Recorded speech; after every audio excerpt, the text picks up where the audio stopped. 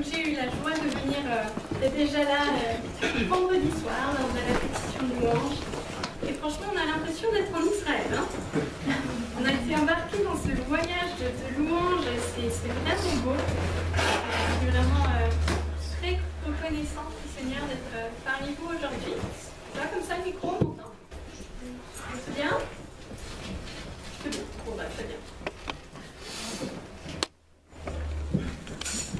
Ah, parfait. Super. Et donc, euh, ben, je fais une présentation euh, PowerPoint. Donc, on va, euh, je vais vous, vous présenter la mission et aussi vous euh, parler de mon témoignage. Comment je suis arrivée au Seigneur et qu'est-ce qu'il a fait depuis là? On va commencer par la mission. Donc, juste pour Jésus je vais juste imprimer ça comme ça, je le vois un peu mieux.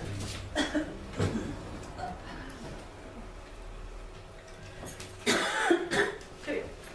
Donc, juste pour Jésus, euh, on est donc des juifs croyants, euh, juifs d'origine, et on croit que Jésus est le Notre Seigneur, notre Sauveur. On fait partie de la même famille, les juifs et les, euh, les, les croyants en Jésus et les juifs croyants en Jésus, c'est la même famille. Et euh, ça a commencé aux États-Unis dans les années 60 par le fondateur Moshe Rosen. Donc Moshe Rosen, c'est lui. Donc il est, c'est un juif orthodoxe euh, qui a grandi à Denver.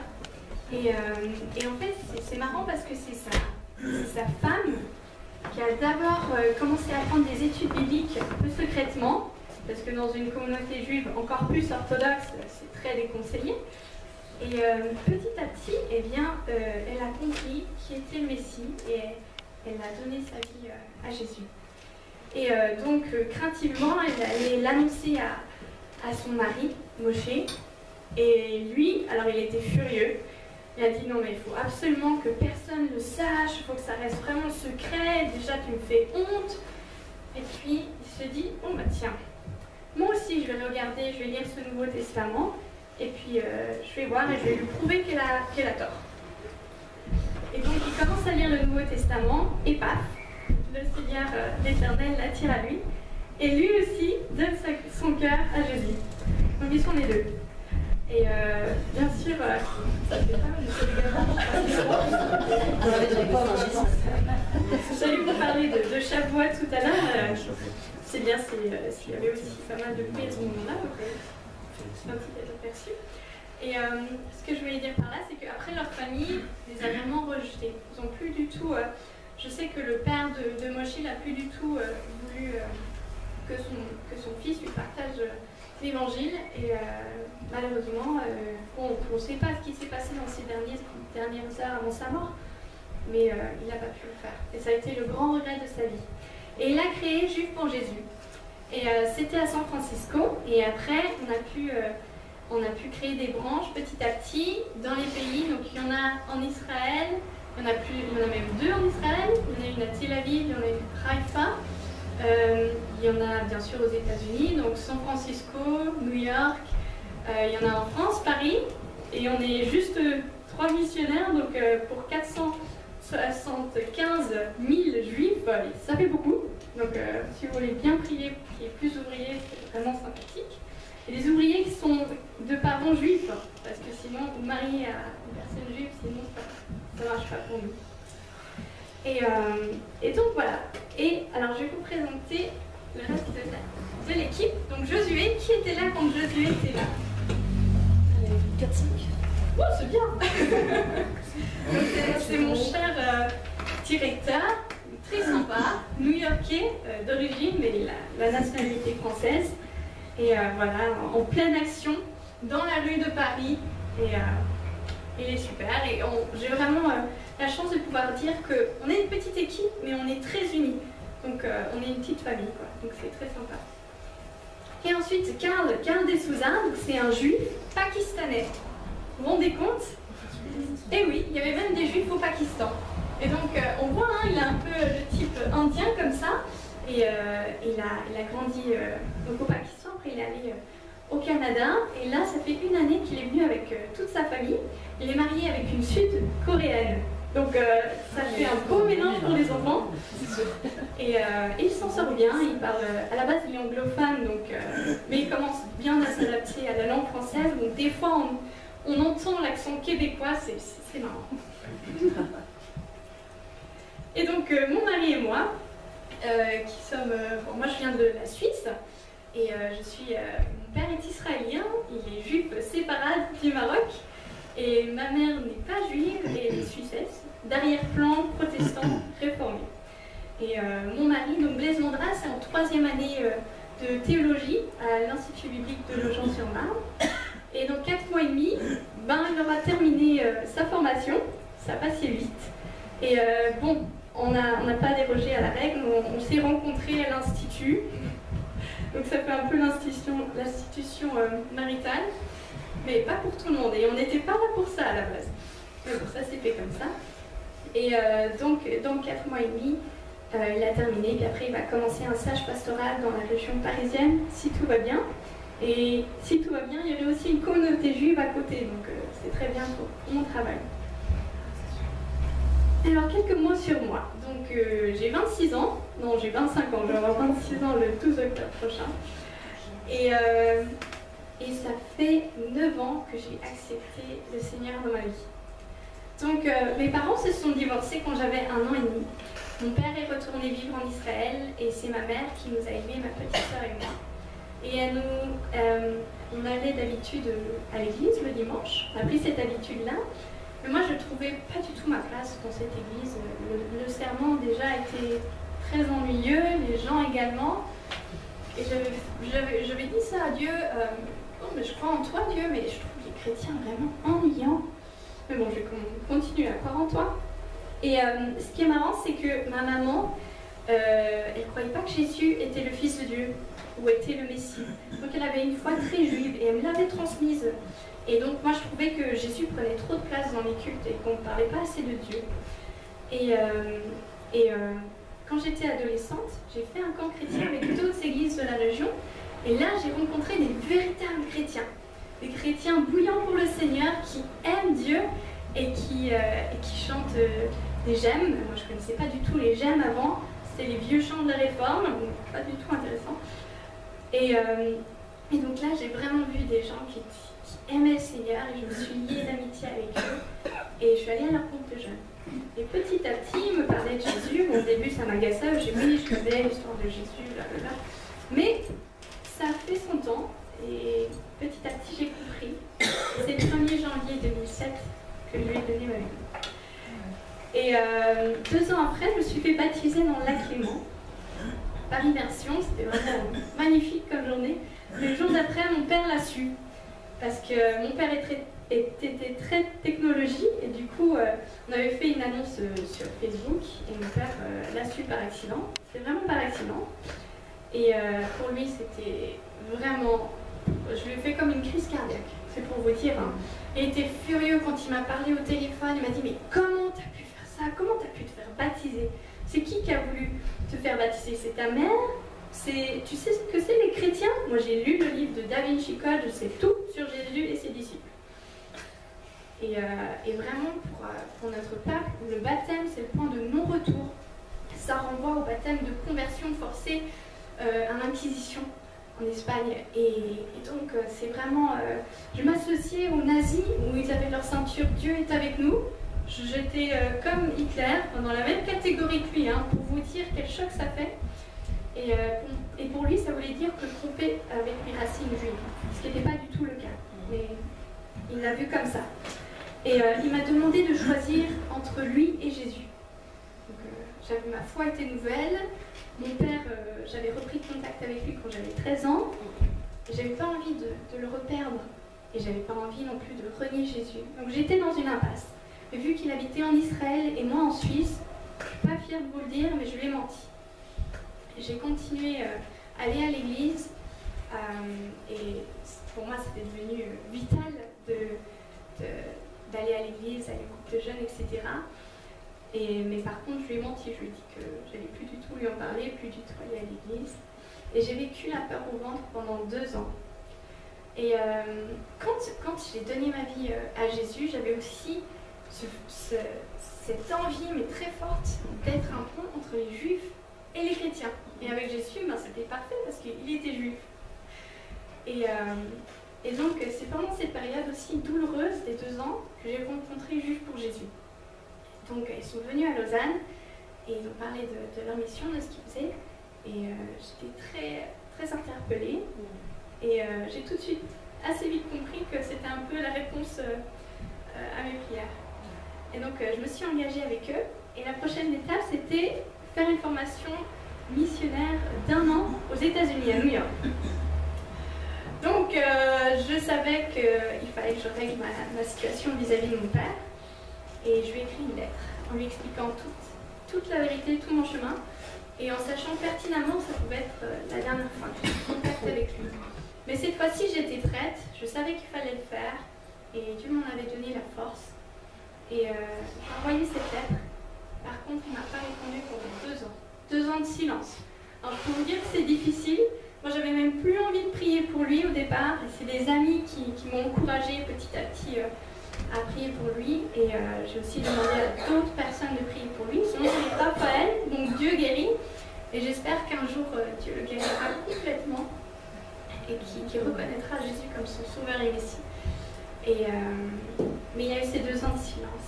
Et ensuite, un jour, par hasard, je lui téléphone et là, on passe une heure au téléphone. Et euh, on parle de tout. Bon, il m'a bien rappelé en disant oui, bon, tu es sur une mauvaise voie, tu renies tes origines, euh, mais maintenant tu es assez grande et il faut que tu assumes les conséquences de tes choix. Et donc, euh, il m'a dit oui, et puis tu m'as manqué et je t'aime. Donc c'était un miracle pour moi, je ne m'attendais pas à ça. Et bon, après, comme je vous ai dit, j'ai rencontré Blaise, on avait très vite le projet de se marier. Et quand je lui ai annoncé la nouvelle, j'avais super peur parce que Blaise n'est pas juif, et il va devenir pasteur. Mais ça, je ne ai pas dit, hein, parce que sinon... mais, euh, mais Blaise était confiant, elle a dit, on va prier, ça va aller. Et on a prié, effectivement, mon père m'a dit, bon, est-ce que tu l'aimes? Bah, Oui, je l'aime. Est-ce que vous avez une vision commune? Oui. Bon, bah c'est bon. Et il est venu depuis Israël jusqu'en Alsace pour notre mariage. Il est venu à l'office civil, et après le repas, malheureusement pas dans l'église, mais il a gardé un bon souvenir de ce mariage. A dit c'était grande fête familiale, on sentait cet amour et on était vraiment contents. C'était notre vie. Et euh, récemment, je lui ai envoyé un Nouveau Testament en hébreu parce que je me suis dit, bon, il faut quand même, euh, je ne peux pas faire grand-chose, mais je veux quand même qu'il découvre le vrai Jésus parce qu'il connaît le Jésus de Da Vinci et d'autres livres, mais c'est pas le vrai Jésus. Et donc, euh, je lui ai envoyé ce Nouveau Testament. Il a mis un mois avant d'arriver est finalement arrivé récemment, la semaine dernière. Et euh, là, j'ai mis un message de mon père qui était triste, déçu, euh, qui m'a dit encore euh, Oui, mais Chantal, tu es dans une mauvaise voie et, et je veux rien avoir à faire avec Jésus. Vraiment, laisse-moi en dehors de ça. Et bon, j'étais à moitié surprise, mais ça m'a quand même fait du mal de voir qu'il était aussi radical dans ses convictions. Et euh, on va avoir euh, un Skype avec lui euh, Shabbat prochain, donc le 12 février à, 9, à 8h. Donc si vous voulez bien prier pour, pour moi et qu'on garde, qu'on continue à garder cette bonne relation et aussi que, son cœur s'adoucisse, mais bon, c'est que Dieu qui peut faire quelque chose. Voilà un peu de sur moi. Et puis, comme je vous ai dit, donc, je travaille depuis 5 euh, ans avec Juifs pour Jésus. Et en tant que missionnaire, je cherche aussi mon soutien. Et donc, euh, si vous avez à cœur euh, ce travail-là qu'on fait et que vous avez envie de participer à cette œuvre pour que les Juifs entendent l'Évangile, eh bien, vous pouvez venir vers moi à la fin du culte et je serai ravie de vous en dire plus. Et si vous avez à cœur de me soutenir, je ne vous dirai pas non non plus, parce que je suis justement en recherche de partenaires comme ça. Et alors euh, voilà, je vous laisse euh, y réfléchir, y remettre dans la prière. Et euh, voilà, on va passer au reste du PowerPoint. Donc les activités qu'on fait, l'évangélisation dans la rue, on fait les études bibliques de 1 à 1. Et la semaine prochaine, je vais visiter trois femmes. Donc c'est très marrant parce qu'elles sont tout à fait très différentes.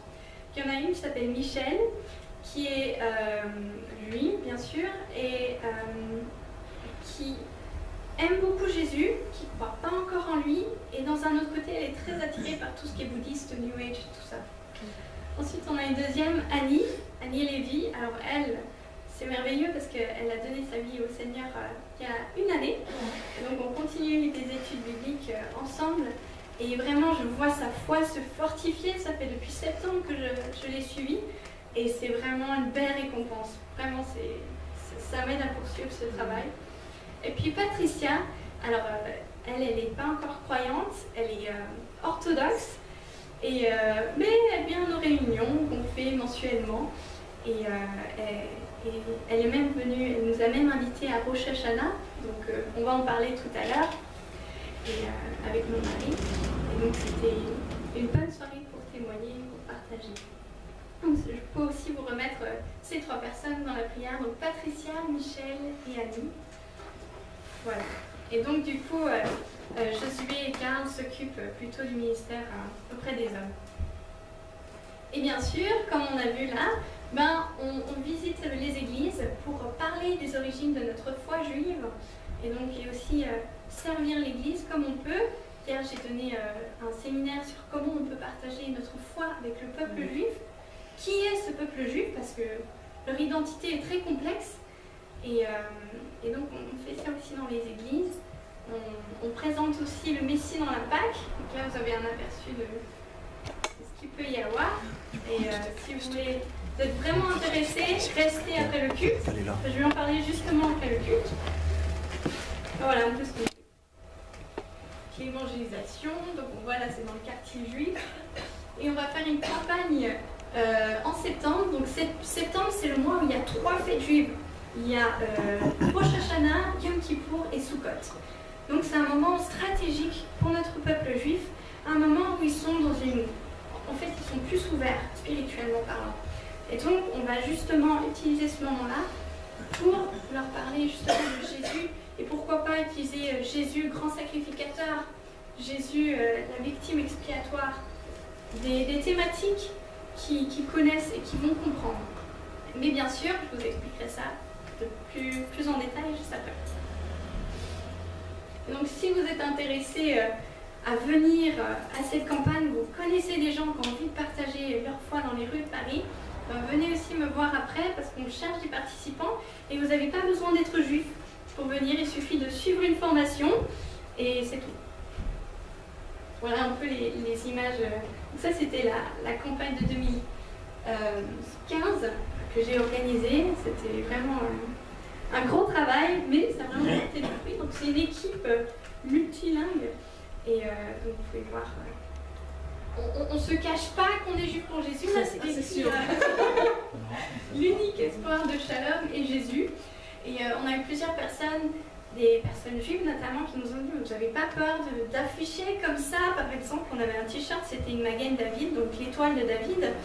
Et les gens euh, nous admiraient pour notre courage. Je partageais pas forcément nos convictions, mais ils, étaient admiratifs.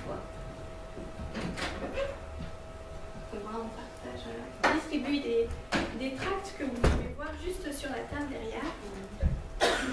Euh, et voilà, alors Karl, qui est en train d'expliquer Ésaïe 53 à notre cher euh, juif chassidique, un peu en réflexion.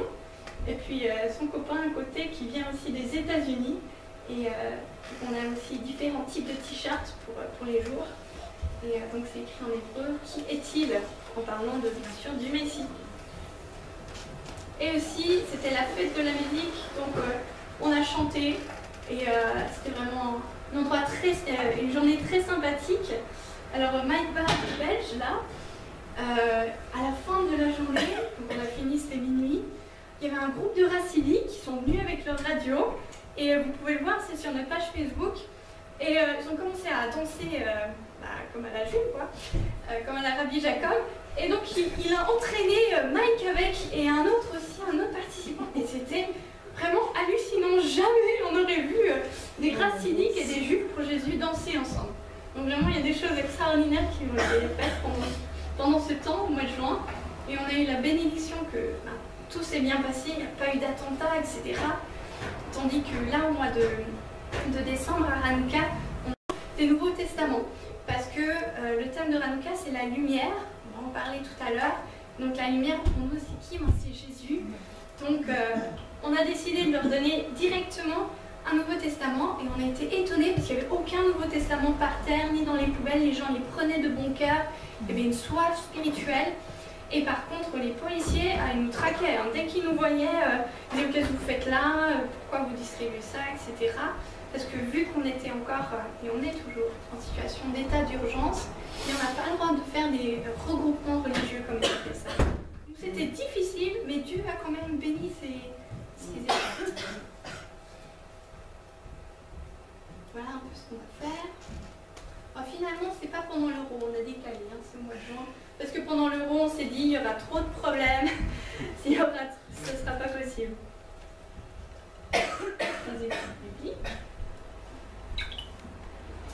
Et créer un cadre de confiance. Là, on voit un peu une souka. Profitez parce que j'ai pas mis de souka dans le PowerPoint suivant quand on va parler de soukot. Donc euh, c'est une espèce de cabane avec un toit ouvert et on met des branchages. Donc là, on a mis euh, le branchage qu'on a trouvé, quoi. Et on a accroché des fruits de saison. Et c'était une soirée euh, vraiment très conviviale où on invite euh, les juifs croyants et non croyants. Et puis un message, bien sûr, qui, parle de Jésus. Jésus qui a accompli cette fête. Et c'est très convivial. Mais aussi des, juifs croyants qui ne font pas forcément partie de la mission, mais qui témoignent, qui prient. Pour des juifs qui, sont intéressés, interpellés. Donc des belles rencontres. Ça, on va faire tous les mois. Le prochain, ce sera le 26 février. Donc si vous voulez aussi prier pour cette, euh, cette occasion, c'est bien volontiers. Et comme je vous ai dit tout à l'heure, on va être une bénédiction pour, l'Église. Donc il y a différentes façons de nous rejoindre. J'en ai parlé un peu avant. Je vous laisse, je vous laisse le lire. Voilà nos ressources. Donc euh, vous pouvez voir juste sur la table à côté. Euh, il y a donc le livre Ils ont découvert leur métier. Donc c'est 10, euh, personnes juives francophones qui ont accepté leur messie et ils ont des histoires complètement extraordinaires. Et donc c'est super intéressant. Et si vous avez un, ami juif, ben c'est une bonne, c'est un bon cadeau. je pense que les amis musulmans aussi, ça marche. Ils seront certainement interpellés. Parce que je le disais hier, euh, les juifs ne sont pas conscients qu'on a une relation personnelle avec Dieu et qu'on devient chrétien et qu'on n'est pas chrétien de base. Et donc c'est important euh, de leur témoigner simplement des petites actions que Dieu fait dans notre vie. Et euh, je partageais cette anecdote hier, c'est Josué et sa femme, ils n'avaient pas encore d'enfants et ils cherchaient un appartement à Paris. Et ils parlaient de ça avec un couple juif. Il leur avait témoigné précédemment, leur avait dit par exemple des miracles, des choses extraordinaires qu'ils avaient vu se produire. Mais bon, ils étaient restés de marge, de, de marbre. Marbre Oui, pardon. Merci. Et, euh, mais quand ils, ils ont dit, euh, ben, écoute, on prie pour un appartement à Paris, et Dieu nous, ont nous a exaucés, eh ils étaient super ébahis. Et ça, ça leur a plus touché que les actes extraordinaires que avez entendus auparavant. Donc, euh, il faut du concret. Et donc il y a aussi les lettres mensuelles. là, il y a encore des exemplaires. Prenez-en le plus possible. Moi, si je repars le moins chargé possible, ça m'arrange parce que je pars en train, donc euh, je transporte tout sur mon dos. Et là aussi, donc là, c'était une lettre de nouvelles de décembre, donc on parle de Hanouka. Et là, c'est une, une, lettre de nouvelles du mois d'octobre, donc on va parler euh, de Soukot. Donc c'est intéressant. Euh, c'est aussi de, de témoignages, on peut aussi partager ça et diffuser ça à d'autres personnes. Voilà nos requêtes de prière, donc je vous laisse tout simplement lire.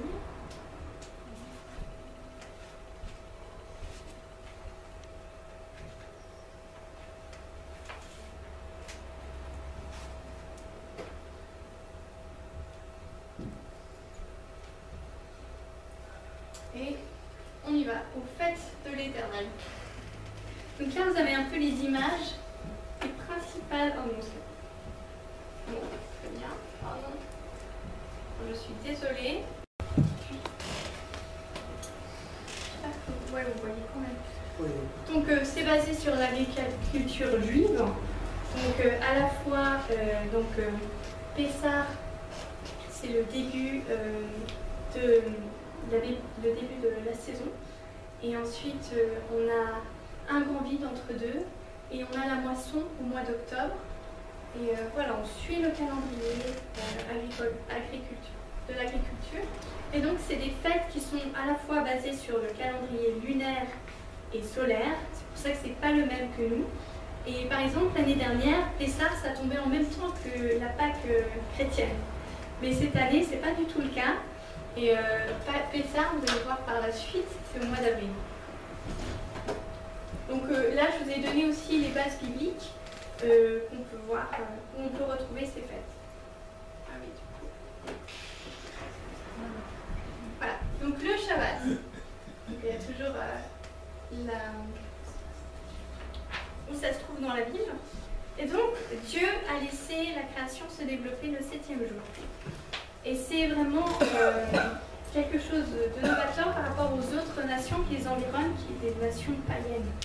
Donc Dieu se repose. Et euh, le Shabbat, c'est un jour pour être en relation avec Dieu. On arrête tout, on fait une pause et on se réjouit en famille et on célèbre Dieu. Et donc, vous avez donc la coupe et le pain. Donc en fait, euh, la coupe qui douche et le pain, donc c'est ça, s'appelle la chala. Quand il y en a deux, c'est les chalotes. Et ça fait référence à la manne qui a été donnée dans le désert. Et donc, euh, à ce moment-là, il y a une bénédiction. donc c'est le maître, euh, maître de la maison euh, qui fait une bénédiction sur la coupe de vin. Et après une bénédiction sur le pain. Et après, il y a aussi une bénédiction pour les enfants, pour l'épouse, pour l'époux. Enfin, c'est vraiment, on a envie de se retrouver et de se bénir les uns les autres. Et après, eh bien, le samedi matin, s'ils sont religieux, ils vont à la synagogue, à l'office. Et puis, euh, s'ils sont encore super religieux, eh bien, euh, ils vont euh, essayer de ne pas profaner le Shabbat, donc ils vont éviter toute action créatrice, toute œuvre créatrice. Par exemple, c'est pour ça qu'ils ne vont pas allumer la lumière, parce que ça fait, ça fait référence à allumer un feu. Ou alors, plus marrant, c'est qu'ils ne vont pas découper le papier de toilette. Parce que euh, séparer deux papiers de toilette, c'est aussi une œuvre créatrice. Et si vous voulez avoir d'autres détails, vous allez sur, euh, sur, le site de Rabat.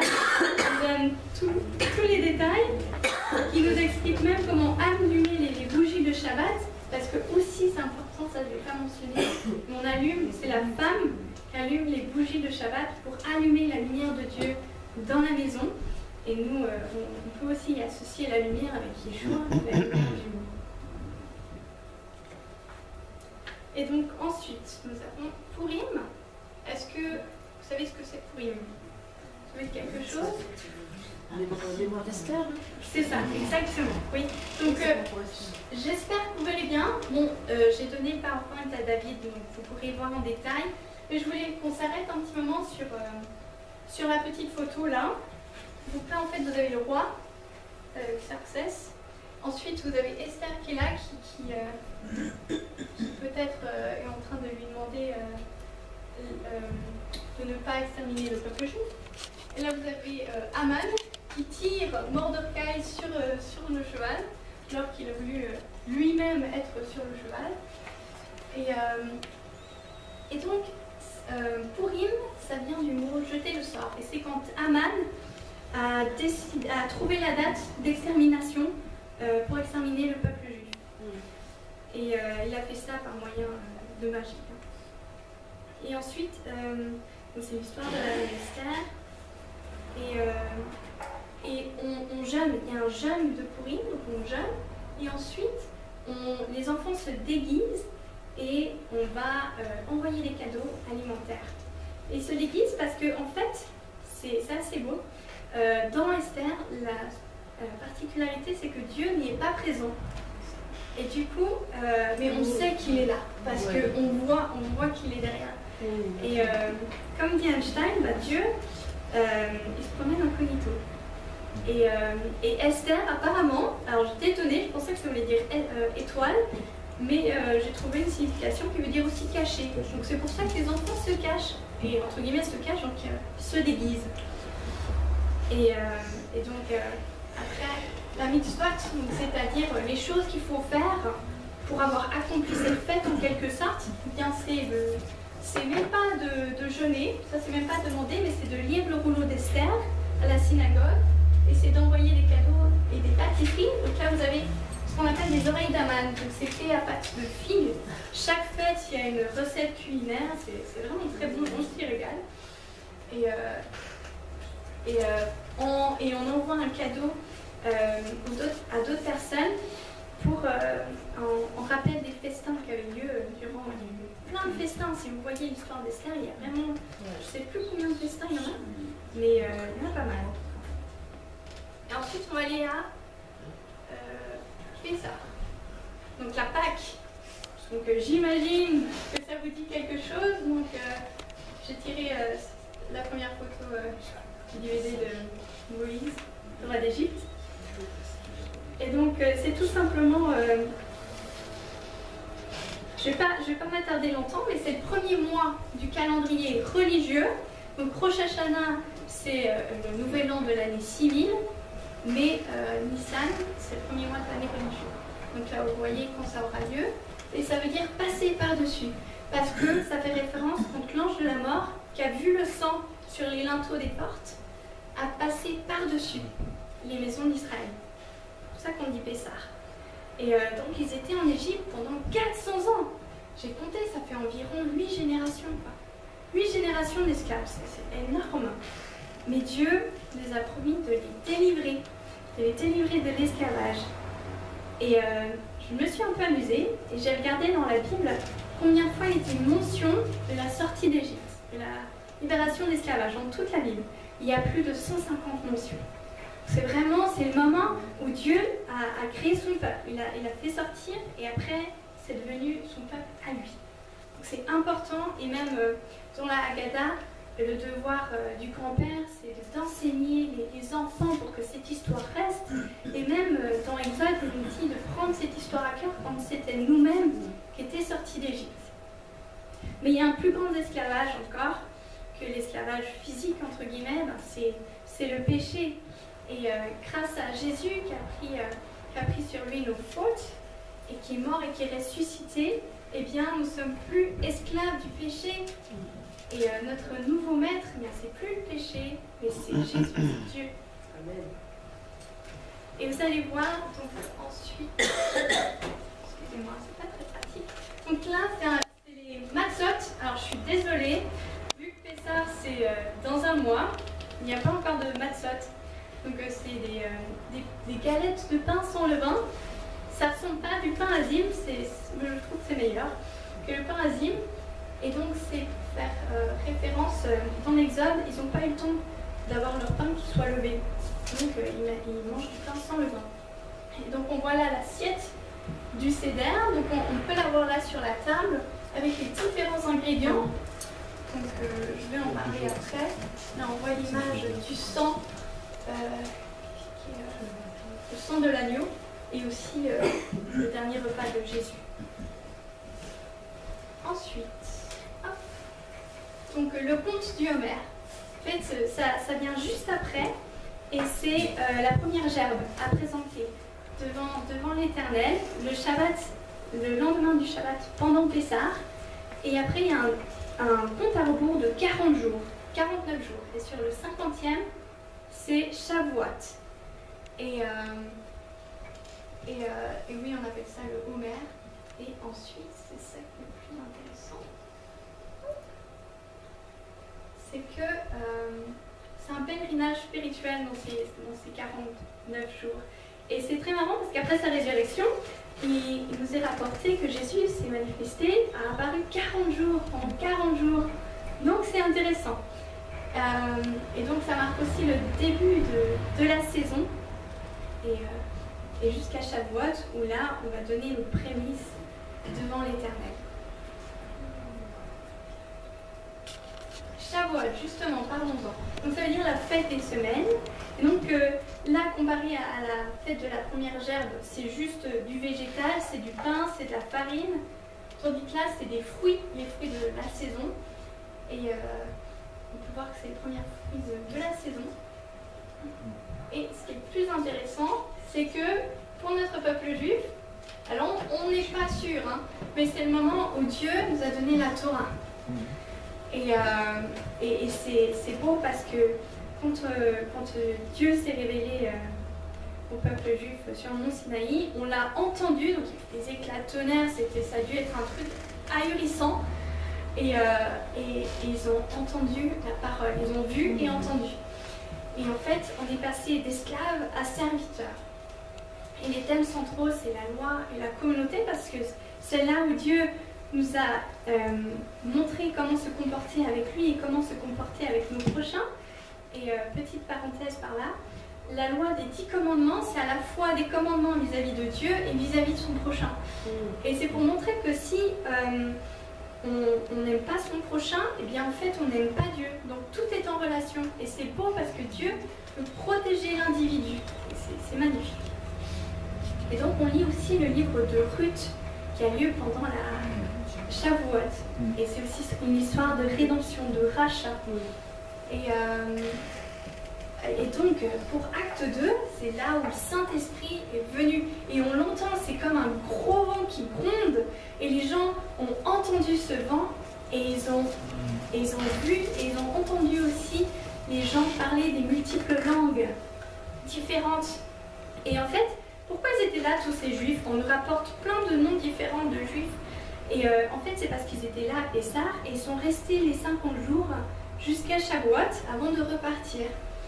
Et, euh, et voilà, ça c'est le miracle de Shavuot, de la Pentecôte. Et euh, c'est aussi la, naissance de notre Église. Donc voilà ce qu'on peut célébrer à Pentecôte.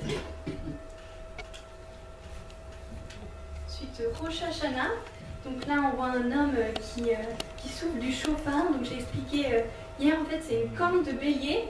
Et le son est pas du tout agréable. C'est un son euh, qui, plutôt nous réveille euh, et qui, qui, nous rappelle à l'ordre. Et c'est une période d'introspection. Et on, va, on, va, on va un peu réfléchir aux personnes qu'on aurait peut-être blessées le long de l'année. Et c'est aussi à ce moment-là que les livres, le livre de vie est ouvert. Donc il y a le livre de vie des justes et des méchants. Et on a ces dix jours pendant euh, Rosh Hashanah et Yom Kippour pour, entre guillemets, se remettre euh, en ordre. Et, euh, et, donc on souhaite à ce moment-là que, les gens soient inscrits dans le livre de vie, que Dieu leur accorde une bonne année. Mais il n'y a aucune... Bon, on ne sait pas hein, finalement si on a été inscrit sur le livre de vie ou des méchants. Hein. On pense que Dieu est miséricordieux et puis, et puis ça suffit. On n'a qu'à faire notre repentance à Yom Kippour, et puis c'est bon, on liquide tout ça. Et euh, c'est marrant parce que Rosh Hashanah, la fête des trompettes, ben, nous on le voit aussi dans l'Apocalypse, au moment où les archanges vont souffler euh, de la trompette, après il y a le retour de Jésus. Et euh, c'est intéressant ces, petits parallèles. Donc c'est des jours solennels. Hein. Et c'est les jours les plus sacrés du calendrier juif également. Voilà ce que. On va lire le sacrifice d'Isaac, d'Abraham et d'Isaac. Et euh, on dit souvent que, euh, on dit, ben, Seigneur, euh, donne-nous la foi, impute-nous la foi que Abraham a eue, qu'il a obéi et que tu lui as demandé de sacrifier son fils. Et que, en fait, c'est très marrant parce que la, foi, elle, est venue avant la loi. Et donc, quand on peut parler avec des personnes juives, on peut leur parler de cette histoire d'Abraham, Isaac, et on voit que, Dieu n'a pas refusé son fils unique. Donc il y a beaucoup de parallèles entre Abraham et Isaac et, euh, ce que Dieu a fait pour nous. Et euh, alors, vous voyez peut-être pas très bien, mais donc on voit euh, des gens qui sont au bord d'une barrière et qui vont jeter des pains dans l'eau.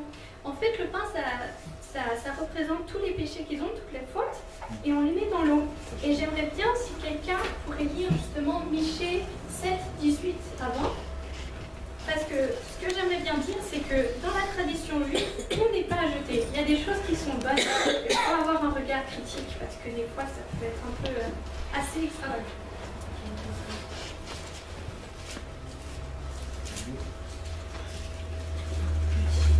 Qui est Dieu comme toi, pardonnant la faute et passant sur le crime en faveur du reste de ton héritage? Il ne garde pas sa colère à toujours car il prend plaisir à la bienveillance. Il aura encore compassion de nous, Il mettra nos fautes sous nos pieds. Tu jetteras au fond de la mer tous leurs péchés. Tu témoigneras de la fidélité à Jacob, de la bienveillance à Abraham, comme tu l'as juré jadis à nos pères. Et on voit que c'est- ça trouve son accomplissement en Jésus, encore une fois. hein. Euh, les prophètes nous rappellent, nous rappellent qu'il y aura une délivrance, qu'il y aura une rédemption. Et, ça parle de ce jour où Jésus a pris nos péchés sur la croix et qu'il est mort et qu'il est ressuscité. C'est là où nos, nos péchés sont pardonnés et pas avant. Et, euh, parce que le sang euh, des animaux euh, dans l'ancienne alliance, c'était juste pour couvrir les péchés, mais ça les, ça les pardonnait pas, parce qu'il faut du sang parfait, du sang pur, et Jésus est à la fois 100% homme et 100% humain, et il n'a jamais péché, et donc son sang était conforme à ce que Dieu demandait. Et euh, à ce moment-là, Jésus a pardonné pour tout ce qui s'est passé sous l'ancienne alliance. C'est fort comme moment. Et à ce moment-là, on prend euh, une pomme et du miel, on trempe euh, la pomme dans le miel pour dire que ah, c'est très bon. ouais. et euh, et euh, ça, ça nous rappelle que la parole de Dieu est douce et bonne. Voilà, juste pour. J'aime bien dans, la, dans la culture juive parce qu'il y a des petites choses pédagogiques qui nous rappellent et euh, où généralement euh, tout le monde peut participer. Ah, on va parler de Yom Kippour. Donc euh, voilà, ma fête aura lieu pendant Yom Kippour. Super, c'est pas la meilleure fête, c'est pas une fête de réjouissance, mais plutôt une fête de, ben, de pardon, de pénitence. Un jour, ben, il y a un jeûne d'un jour déjà. Et euh, avant ça, donc ça commence le vendredi soir généralement par une longue prière qui s'appelle le Kol Nidri à la synagogue. C'est beau, les, pri- les prières en fait dans la synagogue sont chantées et, euh, et euh, Hazan, qu'on appelle, va euh, lister toute une liste de péchés qu'on aurait peut-être fait et à la fin, ben voilà, on est pardonné. Et, et donc c'est marrant parce que tous les juifs vont à la synagogue à ce moment-là. Euh, Même si, s'ils n'ont pas euh, la plupart du temps à la synagogue, ils vont à ce moment-là, on les appelle les juifs de, de, Kippour parce que voilà, ils vont juste une fois pour, être un peu pardonnés de, leurs péchés. Mais, euh, et donc, on va parler, vous voyez là le sacrificateur qui transmet en fait les péchés et les fautes du peuple sur un bouc. Et ce bouc, on va l'envoyer dans le désert. Donc cette idée d'envoyer, d'éloigner nos péchés loin de nous. Et euh, il y en a un autre euh, qui va être sacrifié. Et, donc le, grand sacrificateur, il y a tout un, on peut le voir aussi dans, dans comme c'est marqué. Et je vous invite aussi à lire euh, Épître aux Hébreux parce que c'est beau, il explique en profondeur cette fête de Yom Kippour.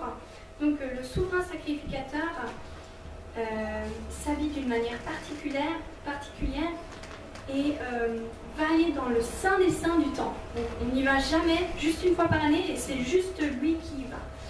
Et il va sacrifier un taureau pour ses péchés à lui et pour sa famille. Et il va apporter le sang euh, au endroit très, très saint, là où se trouve la gloire de Dieu. Et euh, il avait une petite cordelette autour de la taille, avec une clochette, parce qu'il pouvait mourir. Donc, euh, et vu que si les gens allaient le chercher dans l'endroit très saint, tout le monde mourrait. Donc, euh, au cas où euh, Dieu n'aurait pas accepté son offrande, eh bien, on pourrait le, tirer avec cette cordelette. Mais euh, Dieu est, très bon parce que ça s'est jamais produit, heureusement. Et donc, ensuite, il va justement porter tous les péchés sur, sur ce bouc-là et faire l'expiation et encore porter le sang de, de l'autre bouc dans l'endroit très saint. Et, et on voit que dans Hébreu, Jésus est à la fois le grand sacrificateur, parce qu'il plaide auprès de nous, euh, il est à la fois la victime expiatoire, l'agneau pascal qui vient ôter le péché du monde, et il est à la fois le temple. Donc euh, c'est magnifique de voir ces trois, parallèles, et puis euh, on peut vraiment parler de ça avec euh, les personnes juives à ce moment-là, c'est vraiment très bien. Et donc c'est assez intéressant parce qu'il y a juste une mention dans 2 Chroniques 29-21 où on voit le roi Ézéchias donc c'est assez particulier. Et ensuite, une fois que Dieu nous a pardonné eh bien on peut aller dans, le, dans la réjouissance, on peut se réjouir. Et euh, Sukkot, ça veut dire la fête des cabanes. Il y a plusieurs noms, hein. la fête des cabanes, la fête des récoltes, euh, la fête des pluies. Il y a plein, plein, plein de noms. Et euh, ça, se, donc, ça sera cinq jours après, Yom Kippour. Et euh, ça nous rappelle les 40 jours dans le désert. Les 40 la provision de Dieu, la manne continuelle. Euh, c'est marqué que leurs souliers ne se sont pas usés. Dieu était avec eux. Ils étaient euh, euh, une nuée pendant la journée et un feu pendant la, nuit. Et pourtant, ce peuple, et c'est un type de l'humanité, hein, on n'est pas meilleur qu'eux, eh bien, euh, ils, ils préféraient retourner en Égypte, euh, ils préféraient remanger de la viande, etc., etc. Ils se lamentaient. Euh, Moïse avait des, des nerfs assez solides, je dois dire. Et, euh, mais je me... Puis on a eu cette conversation avec euh, Suzanne et, Jacques, mais je me suis dit, mais nous aussi, on a le Saint-Esprit, donc, euh, et ça ne nous empêche pas de faire des fautes. Donc, on n'est pas meilleur que quoi. Et donc, il nous demande de créer, de faire des petites cabanes, comme je vous ai montré au début, et de vivre dedans, de manger pendant huit jours, de prendre des repas, pour voir comme la vie est éphémère, elle est fragile. Et euh, bon, il fait chaud, hein, ici, il commence un peu à faire frais à cette saison. Et donc, s'il y a de la pluie, ben, c'est pas grave, elle tombe sur nous. euh, ça montre que, voilà, on est... la vie est fragile, mais Dieu prend soin de nous. Et Dieu est avec nous.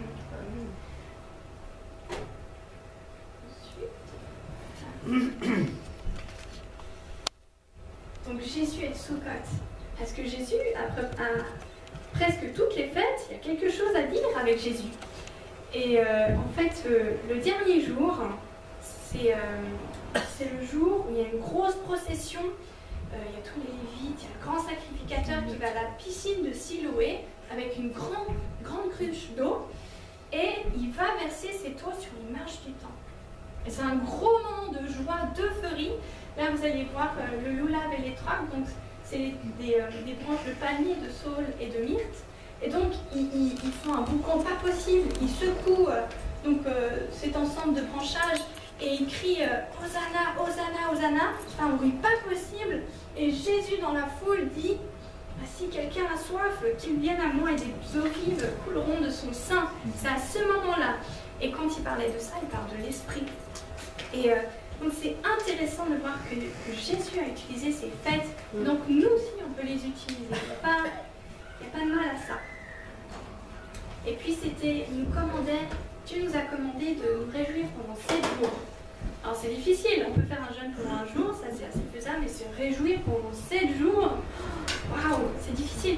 Donc en fait, ils ont créé plein de, de festivités, la lumière, ils allumaient euh, donc du coup euh, les lampes du temple et apparemment euh, on pouvait voir Jérusalem depuis très loin parce que la ville était illuminée de lumière. Il y avait des danses, de la musique. Et euh, un rabbin a dit que si on n'a pas pu, si on n'est pas été, si on n'était pas sous côte en Israël pendant ce moment-là, on ne sait pas ce que c'est que de se réjouir. Donc pour vous dire, euh, c'est vraiment quelque chose. Et on lit le livre d'Ecclésiaste qui raconte bah, effectivement la vie est éphémère, quoi. On nous rappeler de ça. Et c'est aussi pour nous, Soukot, donc la présence de Dieu, eh bien, quand on sera auprès de Dieu, eh bien, ça sera Soukot tous les jours. On se réjouira de sa présence et euh, ça sera merveilleux. Emmanuel, Dieu avec nous. Et on va parler d'une dernière fête, si ma souris veut bien.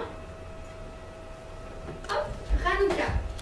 Nous en parlais, c'est le mois de Kislev, mois de décembre généralement. Et Hanouka, ça veut dire la dédicace.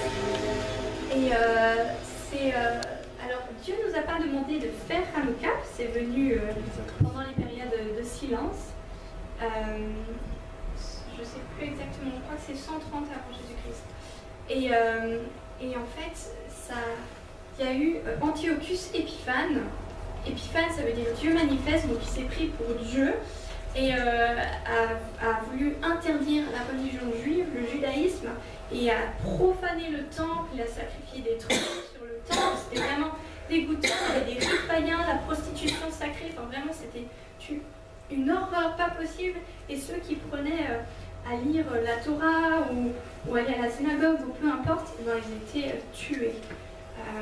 Et, et donc on a Judas Maccabée, qui est Maccabée, ça veut dire le marteau, qui a pris avec lui des personnes, des juifs qui étaient encore attachés au Seigneur, qui, croyaient que Dieu était encore avec eux, et, ils ont réussi à battre les euh, soldats de Antiochus Épiphanes. Donc c'est incroyable parce qu'ils étaient vraiment un petit nombre contre beaucoup.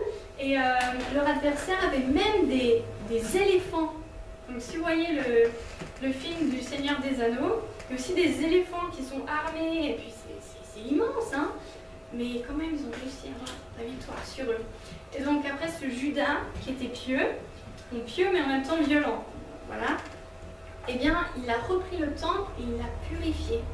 Et il n'y avait plus rien du tout. Et ils ont trouvé, et ça c'est une légende, je note, une petite fiole d'huile. Il y avait assez pour que la lampe dure un jour. il fallait huit jours pour préparer cette huile. Et euh, donc ils ont allumé les, les lampes euh, du temple. Et miracle, cette, cette euh, huile a duré huit jours.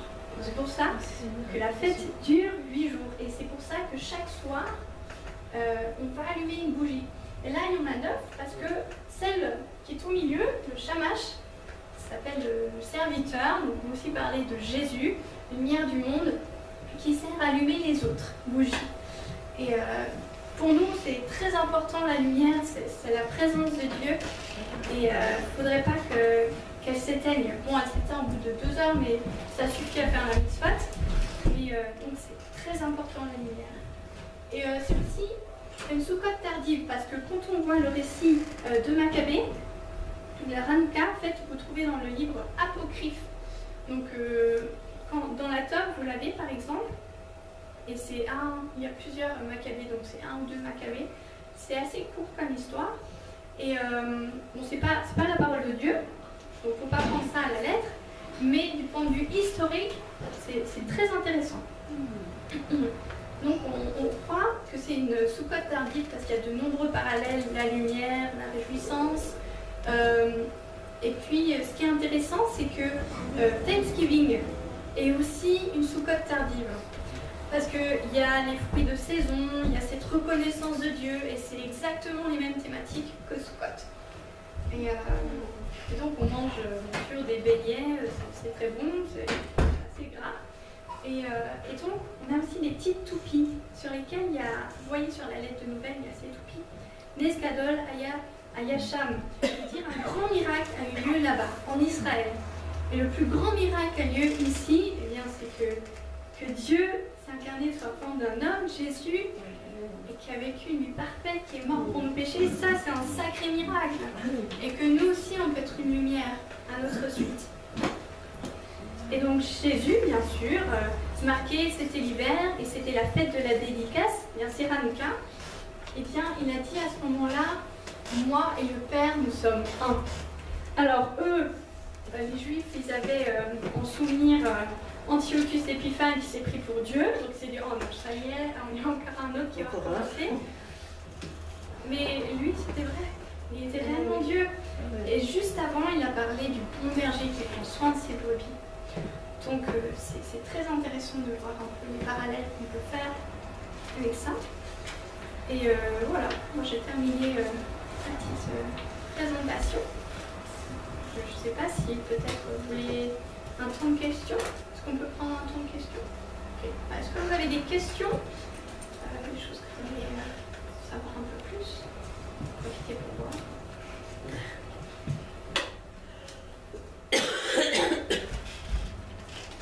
Bon, bah, c'est très bien. Bah, je pense qu'on des gens. Hein. Après, on passera euh, du coup euh, au CEDER. Très intéressant également.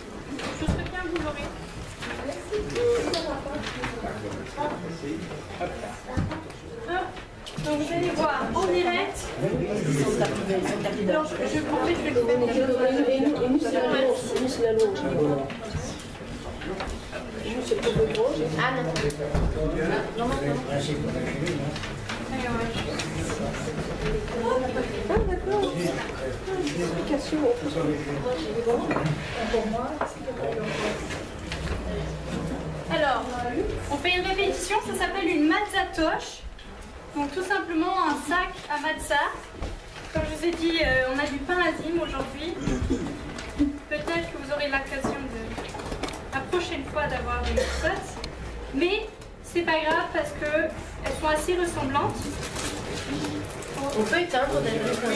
Là, tu es tu, dessous les euh, boutons. Donc en fait,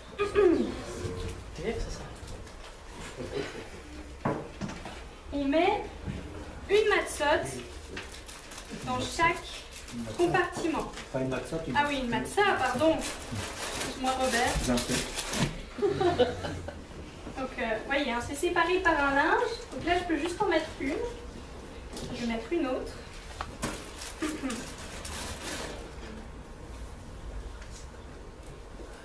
Et encore une autre.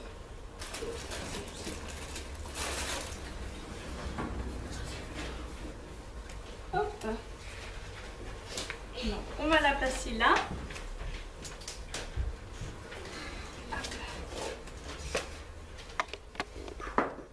Vous allez expliquer aux enfants un peu ce que vous. Exactement.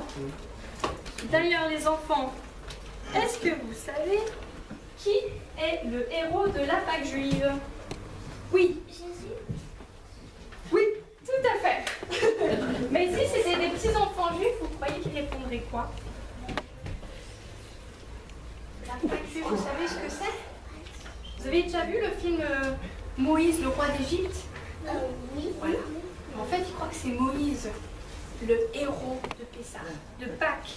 Pessah, c'est en hébreu, ça veut dire passer par-dessus, et Pâques, ben, c'est ce qu'on a, on a traduit comme ça euh, de, en grec ou en français. Et donc, l'histoire de Pâques, c'est l'histoire de rédemption, de rachat. Et vous allez voir, tous les symboles parlent de la, du rachat. On a été racheté, racheté par Dieu, quelque chose de bien plus grand. Et j'espère que vous allez voir une illustration, une image de la vie, de la mort, de la résurrection et du retour de Jésus dans l'explication que je vais vous donner du CEDER. Alors le CEDER, normalement, ça dure 4 heures. On ne va pas y passer 4 heures, je vous rassure. Euh, tout est consigné là-dedans, ça s'appelle une agada, ça veut dire raconter l'histoire de Pessar. Donc c'est très sympa. Et les enfants, à Pessar, il y a tout le monde qui participe. Et donc je vais vous demander de participer un petit peu plus tard. Donc vous allez dire, c'est bizarre que Jésus soit le héros de Pessar. Mais non, parce que Jésus était juif.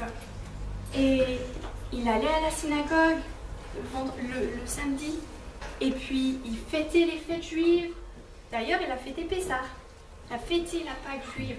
Et il a utilisé cette fête pour parler de lui. C'est bien ça. C'est très pédagogique.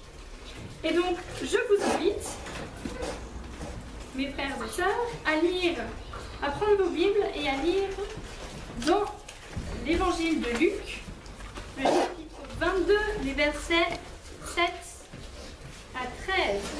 Si quelqu'un veut bien le lire, comme ça j'économise ma voix.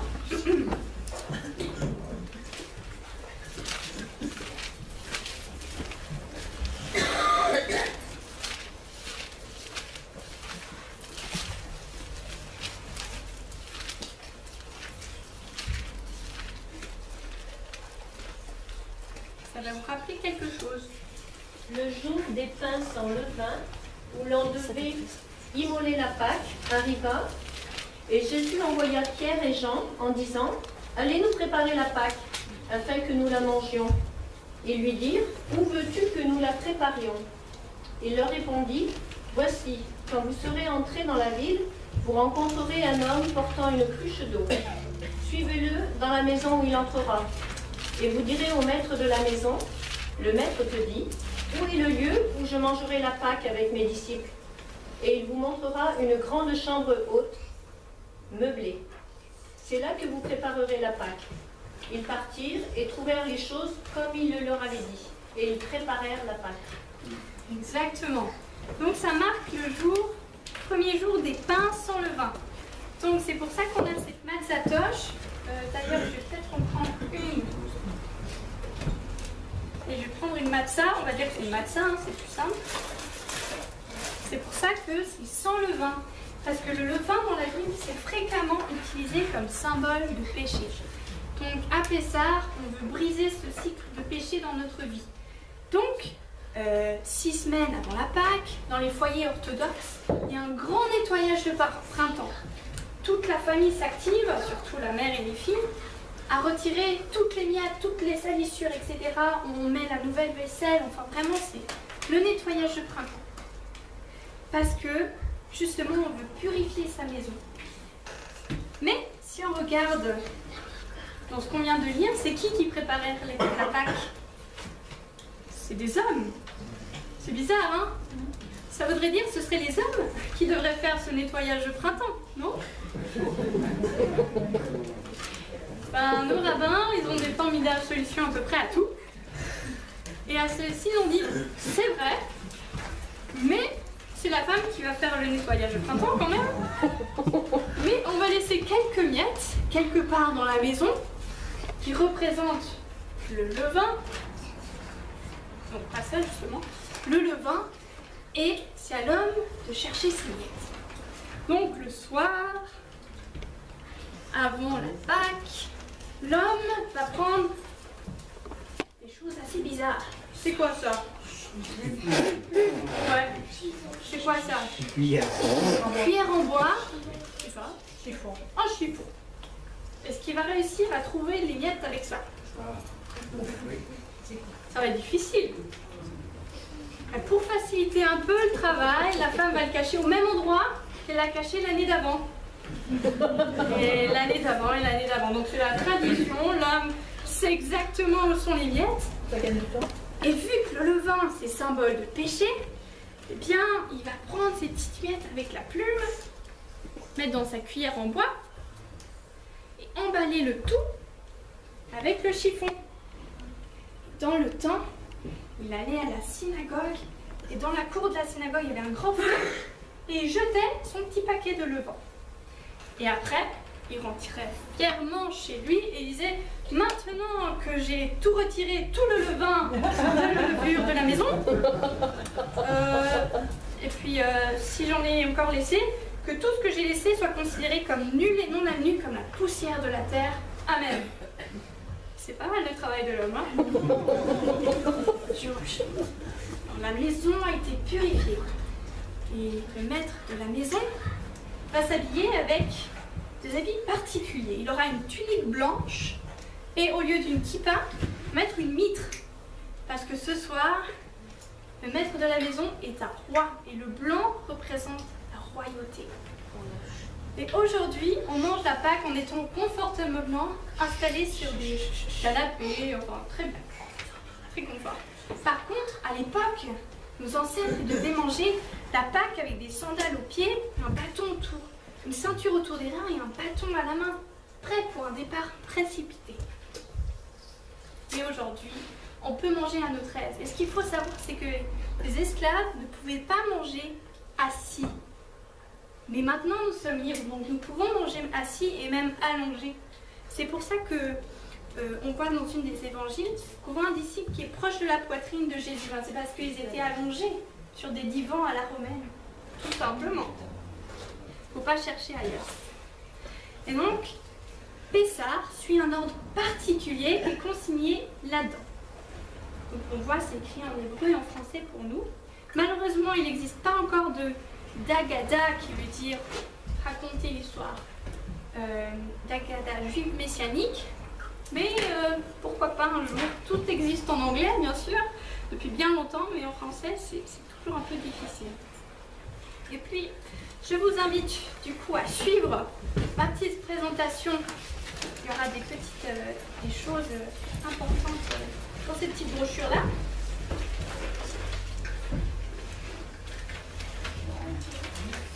Et alors, la maison est purifiée, l'homme est habillé comme un roi, la femme peut allumer les bougies.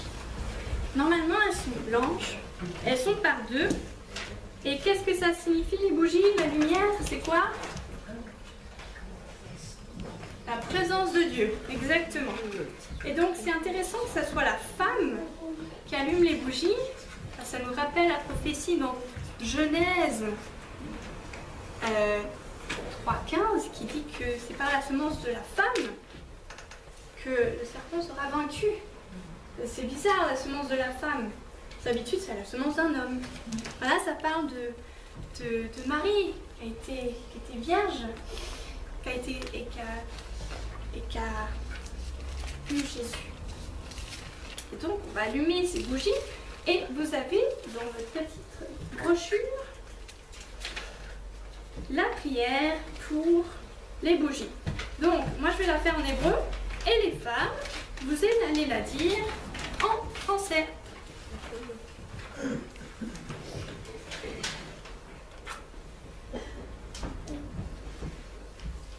Et la femme va se couvrir euh, la tête et va couvrir son visage avec ses mains, par signe de respect devant Dieu.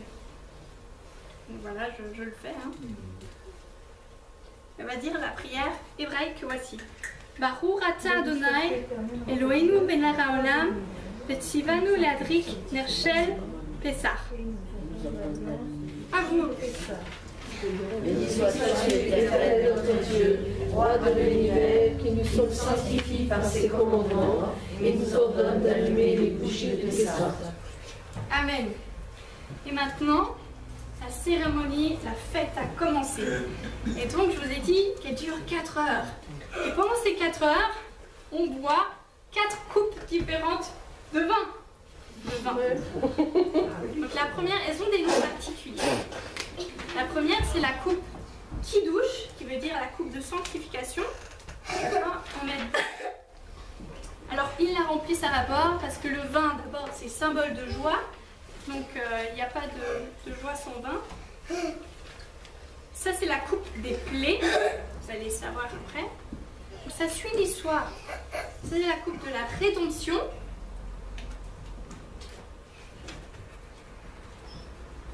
Et la coupe à l'aile. La coupe de louange.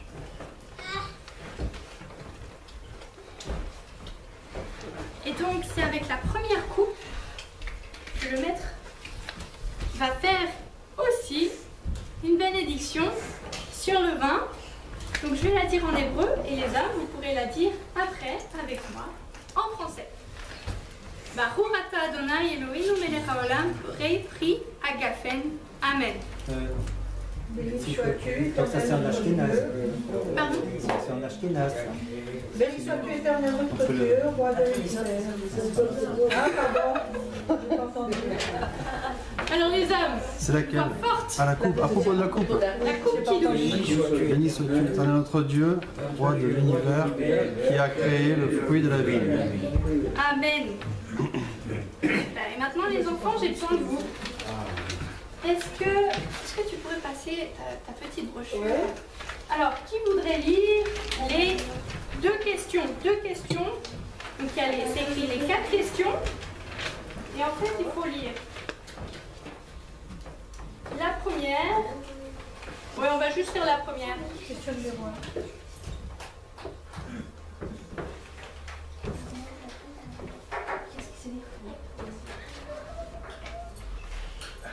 Juste celle qui est en gras, c'est même pas la première. C'est celle qui gras. Pourquoi, pourquoi cette nuit est différente de toutes les autres nuits Exactement. Donc c'est le grand-père qui va répondre.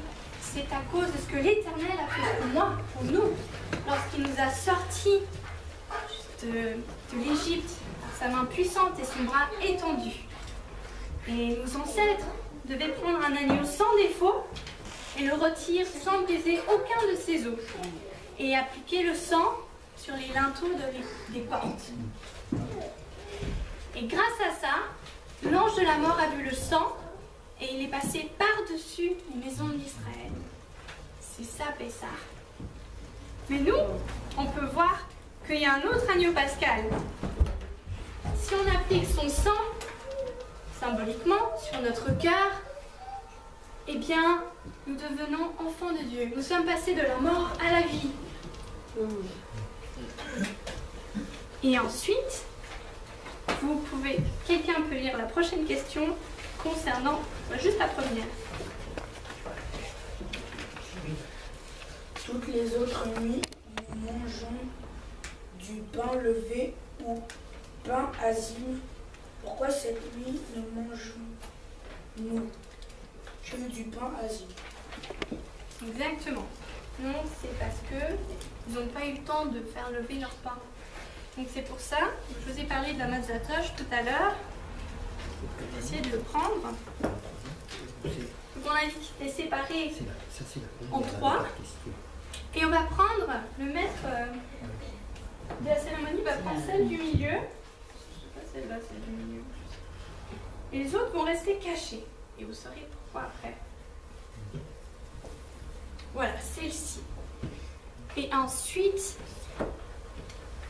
donc c'est symbole de pureté, sans péché, parce que sans le vin. Et il va faire une prière en hébreu. Donc je vais la dire aussi en hébreu. Oui, c'est Ashkenaz. Et euh, après, les hommes, vous pourrez la dire en français. Donc c'est la prière au sujet du pain. Baruch ata Adonai Eloheinu melech haolam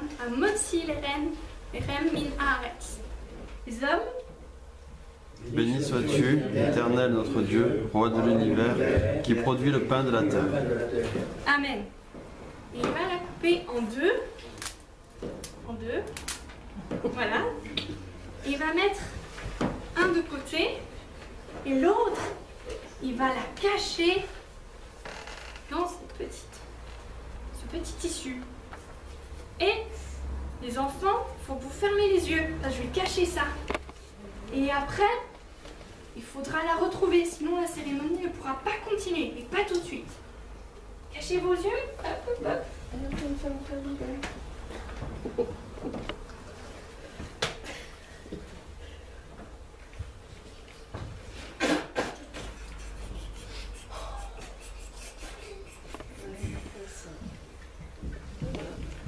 Voilà. Et maintenant, on va parler de la... Ah oui, on va lire... euh, Alors, une volontaire pour lire la question 2. La question 3. 2 et 3. Les autres nuits, nous mangeons de toute espèce. Pourquoi cette nuit ne mangeons-nous que des herbes amères Et tu peux dire... Oui, c'est très bien. Ah, tu peux aussi lire la 3. Toutes les autres nuits, nous avons la liberté de tremper les herbes une seule fois Voilà. Donc là, comme vous avez vu sur le PowerPoint, vous avez l'assiette du CEDER. C'est pas un assiette pour faire des yeux œufs à la, euh, à la mayonnaise. Et donc, chaque compartiment est un symbole dans l'histoire de la Pâque, du rachat, de la libération. Et vous avez, la première, c'est le carpas. Donc on utilise soit du persil, soit de la laitue. Ensuite, vous avez... C'est pas dans l'ordre en plus. Euh, je sais plus où elle est là. Du céleri aussi. Pardon céleri aussi. Exactement. Alors c'est celui-là là. Donc ça c'est le maror. C'est la racine de l'herbe amère. Et ensuite, le maror, euh, c'est du réfort, donc ça doit venir des pays de l'Est. Là c'est une racine séchée. Si vous voulez euh, regarder. Et donc, on va prendre euh, ce que vous avez dans les petites poubelles. Donc euh, si vous voulez, vous pourrez goûter. Euh, c'est assez particulier, c'est très fort. Et en fait, il faut prendre une pleine cuillerée de ce réfort. Et qu'est-ce que ça fait? Eh ben, On pleure. Et ben, c'est pour dire que sans rédemption, sans libération de notre état d'esclave, eh bien, on, reste dans l'amertume et dans le chagrin, dans la tristesse. La même chose avec le carpas. On va le tremper dans l'eau salée. Et l'eau salée, ça représente les larmes de la vie. C'est pour avoir ce goût en bouche. Et ensuite, nous avons le l'oignon. Alors, il faut juste euh, le présenter euh, comme ça. Donc, c'est soit ça, la racine de réfin, ou soit un oignon. Mais c'est tout. Faut pas, faut pas, le manger, c'est juste comme ça. Ensuite, nous avons le raroset qui représente les briques que mon peuple faisait pour Pharaon. Alors c'est un mélange de pommes, de miel, on peut mettre des raisins, on peut mettre de la poudre de noisette, on peut mettre de la pâte de figue, enfin c'est très très bon. Mais pourquoi est-ce que ça représente un travail vraiment pénible Faire des briques pour Pharaon, c'est quelque chose de pénible. Est-ce que vous auriez une suggestion Non Eh bien, nous rabbins, on en a toujours. On dit, même le travail le plus pénible est adouci par la promesse de libération. C'est beau, hein? Et ensuite, nous avons le Ragiga. Il est où? Ah oui, c'est un... Bon, là, il est coupé. Mais euh, c'est un œuf qu'on rôtit et qui, qui a cette couleur brunie parce que c'est un symbole de tristesse pour notre peuple juif, parce qu'on se rappelle la destruction du temple en 70 après Jésus-Christ. Et c'est pas juste le temple qui a été détruit, mais c'est aussi tout le système sacrificiel qui est tombé à l'eau, vu qu'il n'y a plus d'endroit pour sacrifier les animaux. Et, euh, et donc ça aussi été un carnage pas possible dans Jérusalem. Il y avait des crucifixions, euh, vraiment c'était immonde. Et, euh, et donc notre peuple juif s'est questionné, s'est dit mais comment on va faire pour survivre? Notre temple est détruit, comment est-ce qu'on va faire? Eh bien, ils ont, au lieu de porter l'accent sur les sacrifices, ils l'ont porté sur la prière et l'étude de la Torah. Et les pharisiens, c'est les ancêtres des rabbins. Et ensuite, avec ça, nous avons l'os, qui s'appelle le zroa, l'os de pâte d'agneau. Parce que euh, euh, Pessah est aussi euh, connu sous la fête de l'agneau pascal. C'était les agneaux qu'on sacrifiait au temple. Il y en avait plein, hein. Vous imaginez, il y avait plein, plein, plein, plein, plein de monde à Jérusalem. C'est un peu un abattoir, je dois dire. Donc, euh, vous imaginez un peu les odeurs, le bruit.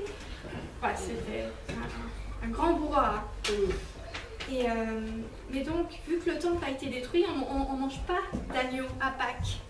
C'est pour ça qu'on on met juste euh, l'os comme symbole aussi de tristesse, vu qu'on ne peut plus le faire. On ne peut plus sacrifier de, d'animaux. Par contre, comment on peut continuer du coup à respecter le commandement dans Lévitique 17, 11 Est-ce que quelqu'un peut le lire? Lévitique, chapitre 17, verset 11.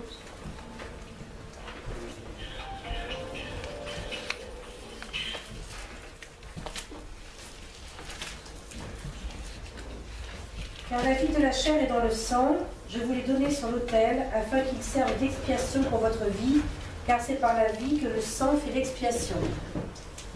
Eh oui, donc c'est par le sang que la vie fait expiation. On ne peut pas, sans, sans sang versé, il n'y a pas de pardon pour les péchés. Je vous ai dit tout à l'heure, il faut que ça soit un sang parfait. Et le sang des animaux était, était loin d'être parfait. Et le sang de Jésus, lui, était parfait. Alors il y en a qui vont dire, oui, c'était important il y a 2000 ans, mais maintenant, euh, c'est plus important. Mais si c'est important, Agatha nous demande de nous rappeler et de nous mettre à leur place, d'être nous aussi sauvés. Mais comment on peut faire? Comment est-ce qu'on peut être pardonné de nos péchés en absence de sacrifice? Vous avez une idée? Je vais vous donner la réponse là. Eh bien, il y a 2000 ans, un juif nommé Yohanan a vu Yeshua, Jésus, a dit Voici l'agneau de Dieu ôte le péché du monde.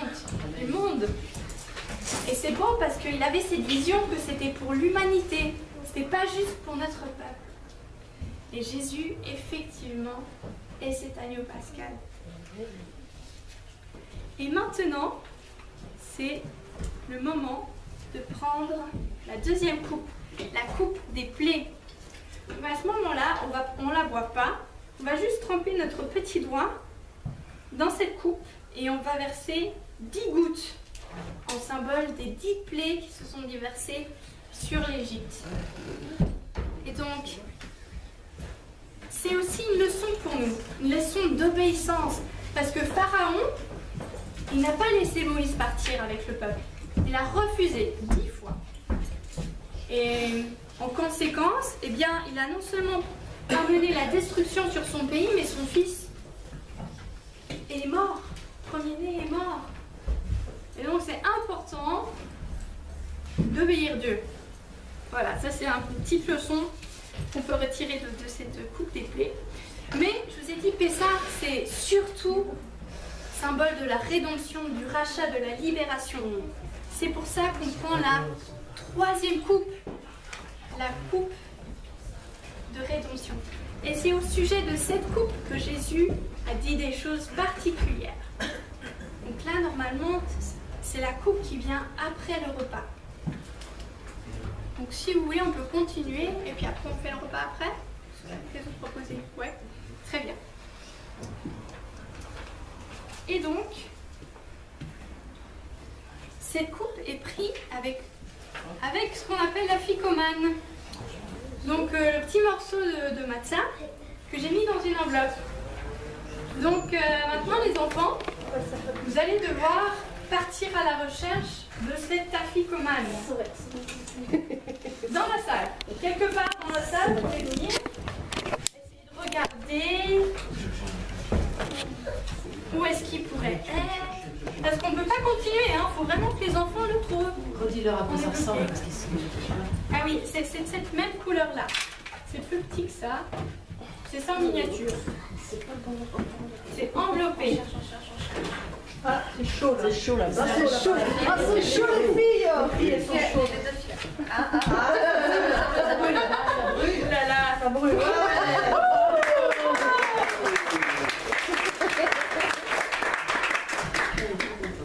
Super. Comment tu t'appelles Eleonore. Éléonore, bravo. Si t'étais lui, t'aurais une petite pièce d'argent. Mais- Faut sortir là. Vous pouvez, vous pouvez remettre euh, où vous étiez avant.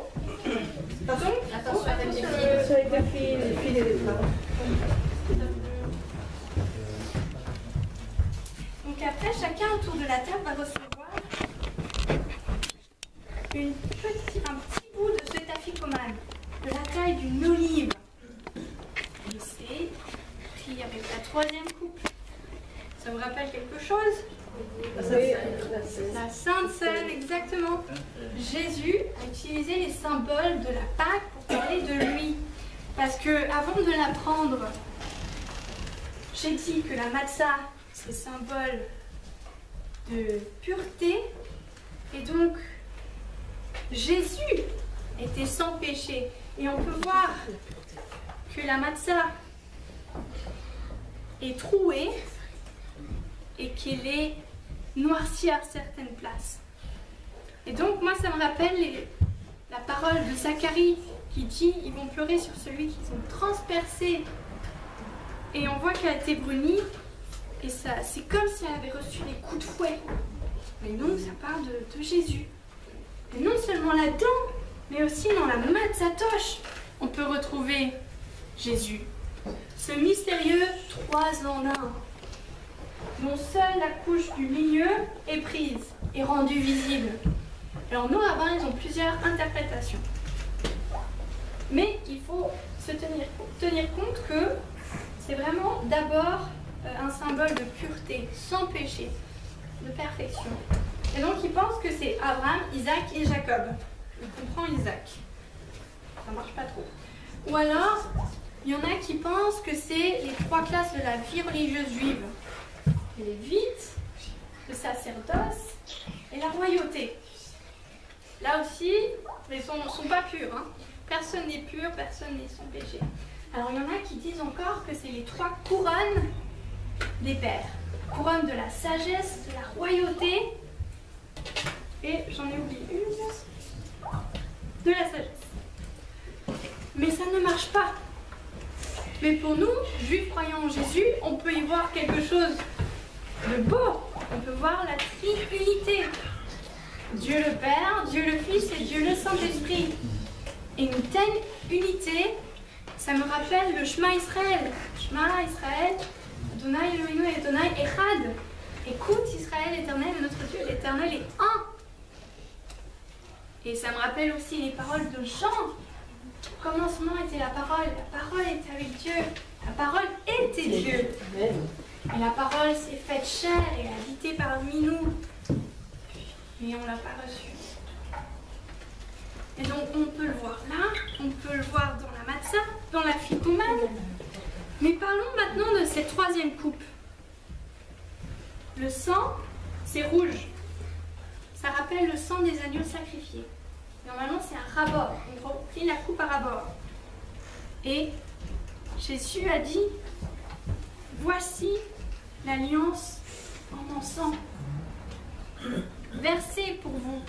Et j'aimerais bien que quelqu'un lise Jérémie, les versets 31 à 34.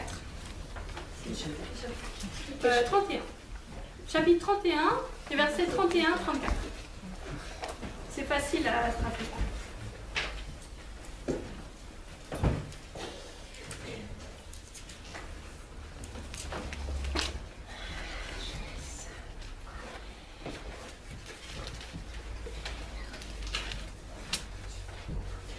Qu'est-ce que vous avez dit, Jérémie Chapitre 31, Oui. les versets 31 à 34.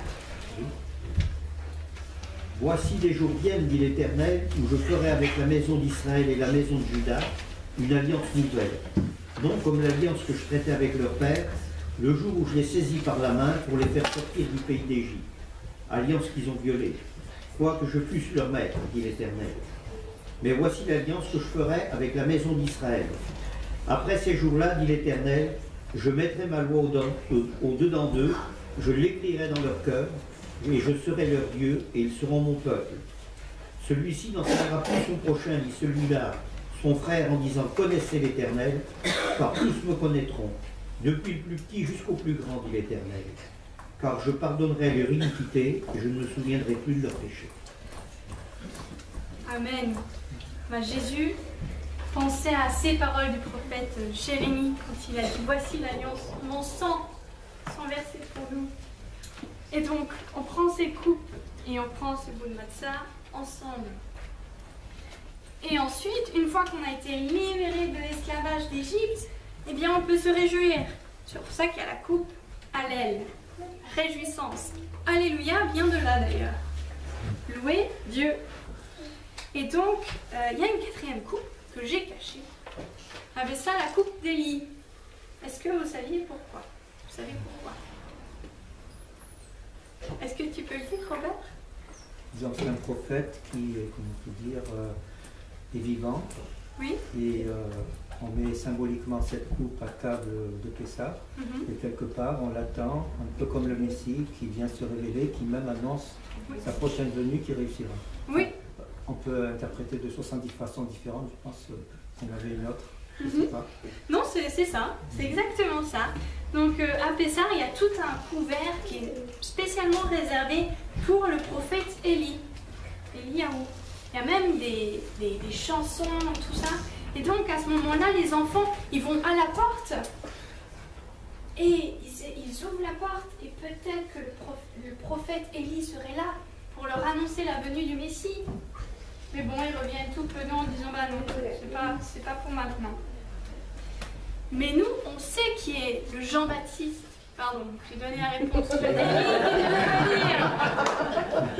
dit. Exactement. Élie le prophète. Tout à fait. Eh bien, c'est Jean-Baptiste.